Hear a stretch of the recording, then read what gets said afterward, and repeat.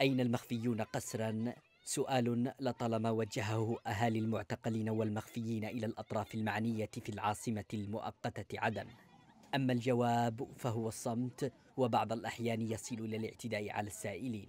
فعلى الرغم من الوقفات العديدة التي نظمتها رابطة أمهات المختطفين للمطالبة بالإفراج عن أبنائهن المعتقلين في سجن بير أحمد الخاضع لسيطرة القوات الموالية للإمارات إلا أن دعواتهن لم تلقى استجابة كان التقدم الأبرز هو ما جرى خلال الأسابيع الماضية حين استقبل قائد القوات السعودية في عدن العميد مجاهد العتيبي وفدا من الرابطة واعدا بإيلاء قضية ذويهن مزيدا من الاهتمام.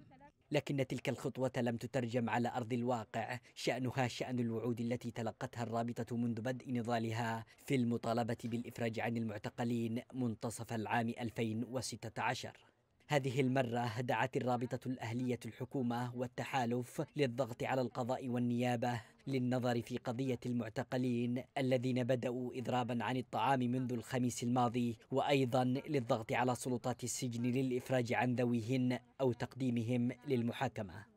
الرابطة تتهم سلطات السجن بإخفاء مخفيين قسرا واعتقال آخرين ضاربة عرض الحائط بتوجيهات النيابة العامة الصادرة في مارس من العام الماضي والقاضية بتقديم بعض المعتقلين إلى القضاء.